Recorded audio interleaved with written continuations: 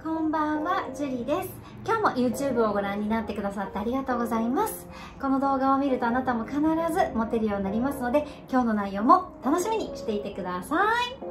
はい。では、好きな人に好かれない。彼女がいない歴が長い。今まで一度も彼女と付き合ったことがない。え、そういう方もいらっしゃると思います。どうして僕には彼女ができないんでしょうかっていう質問ね、すごくたくさんいただいてます。でもですね、私から言わせてみれば、彼女ができない人なんて、この世の中に一人もいないと思うんですよ。ただ、問題なのは、彼女を作る以前に、やっちゃダメだよっていうことをやってしまっている。ただ、それだけなんですね。そしてその NG なことが何なのかわかんないから、その NG が正しいと思ってやってしまっている。だから彼女ができないだけなんですよ。安心してください。今回の動画ではあなたに彼女ができるように彼女ができない男性の特徴5つお話しさせていただいて、そしてじゃあどうしたらいいのかっていうのも簡単にお話をさせていただきたいと思います。この動画がいいなって思っていただいたら、チャンネル登録と高評価の方もお願いします。えー、概要欄から LINE のお友達を募集してます。こちらお友達になっていただいた方には、3つのモテる動画を無料でプレゼントさせていただいてますので、ぜひぜひお友達になってください。はい。ではですね、彼女ができない男性の特徴1つ目。1つ目はですね、真面目すぎるです。真面目すぎる男性はモテないです。はい。というのも、真面目な男性って根本的に真面目な男性はとてもいいことなんですけれども、真面目すぎるのが良くないんですね。なぜかというと、真面目すぎる男性っていうのは、ねばならないとか、世間体とか、そういうものを大切にしすぎてしまうんですよ。例えばですけれども、アプリで出会った人はあまり良くないと決めつけてしまったりとかアプリは怖いというふうに決めつけてしまったりとか自分は何歳だからモテないんだと決めつけてしまったりとかこういう場所にいい人はいないと決めつけてしまったりとかなかなか考え方の柔軟性っていうのがなかったりするんですよね。そして婚活をしなければいけない。結婚をしなければいけないというふうにねばならないだったりとか禁止が多かったりとかそういうふうに思いながら婚活をしているので相手の女性にもあなたがどういう気持ちで婚活をしているのかっていうのが言わなくても分かってしまうんですね。なので真面目すぎる。そしてそのこだわりすぎ世間体を気にしすぎやっちゃいけないことが多すぎ。ると相手の女性からモテなかったりとか出会いの幅が狭まってしまったりとかするんですよ。なので真面目はいいことだけど真面目すぎるのはモテないのでぜひちょっと肩の力を抜いていただければと思います。はいそして二つ目。二つ目はですね、一途すぎるです。で、一途な男性はもちろんいいんですけれども、一途すぎる男性がダメなんですよ。何でも何々すぎるがダメということですね。なぜ一途な男性、一途すぎる男性がダメかというと、多くの一途すぎる男性っていうのは、一人の女性に執着をしてしまってるんですね。一途なように見えて、実はそれは執着だったりします。そしてその女性じゃないと自分は幸せになれないんじゃないかっていうふうに思ってしまっていて自分の行動だったりとか出会いの幅っていうのをものすごく狭くしてしまってるんですね。そしてこれ3つ目につながるんですけれども3つ目女性慣れしていない要するに一途すぎてその人に執着しすぎて他の女性を見ようとしないからだから女性になれることができないんですよ一途すぎると。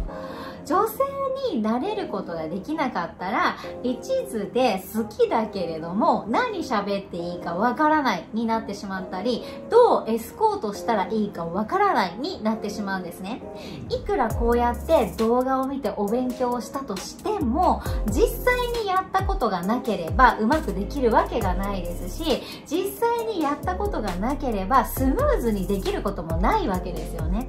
なので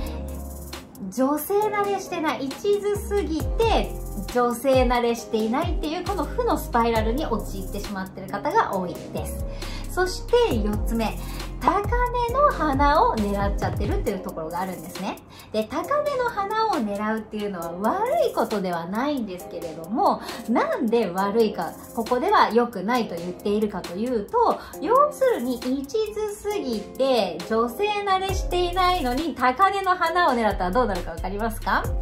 これって一度もエベレストに登ったことがないのにね、一度も山登りしたことがないのに、いき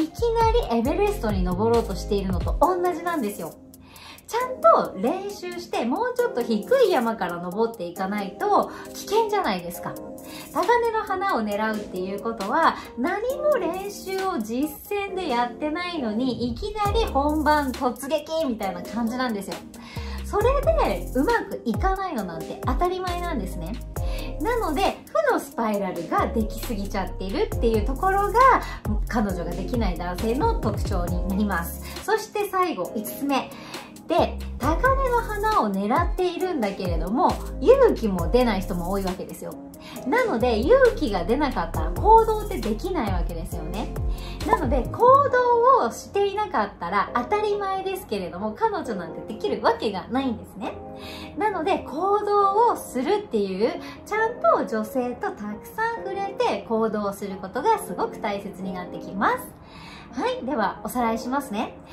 彼女ができない男性の特徴5つ。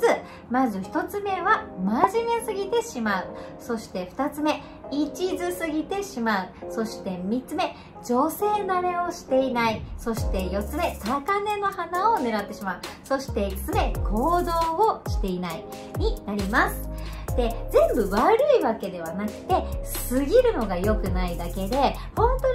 にねいろんな人とお話をしていろんな女性と話をして女性というものを知っていただきたいんですね。実践レベルで。そしてこのテクニックっていうのを実際にやっていただければ必ずあなたはモテるようになりますので安してください。場数がね本当に大事になりますのでとにかく場数を増やす。とにかく女性とたくさん話す。楽しみながらね。っていうことをやっていただければあなたの人生の幅が広がって楽しい、えー、彼女と一緒に過ごせるような人生になるんじゃないかなと思いま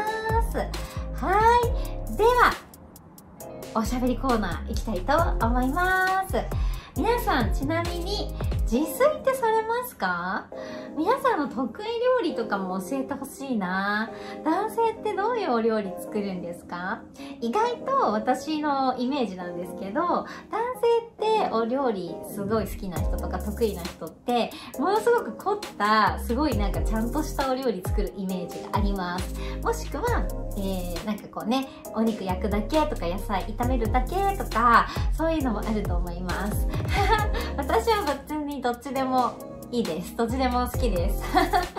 なので自分のことをね、自己開示って言うんですけど、自分はこうですっていう練習にもなると思いますので、よかったらアウトプットとしてまたコメント欄に書いてください。はい、私ちゃんと読んでますので書いてもらえると嬉しいです。はい、ではですね、概要欄から LINE の友達とメッセンジャーのお友達、そして無料のオンラインサロン、クラブハウスのお友達を募集してます。えー、質問は LINE の方からいただければ、ライブ配信とかで答えたりしますので、ぜひぜひお友達になってください。はい、では今日も一日お疲れ様でした。ゆっくり休んでくださいね。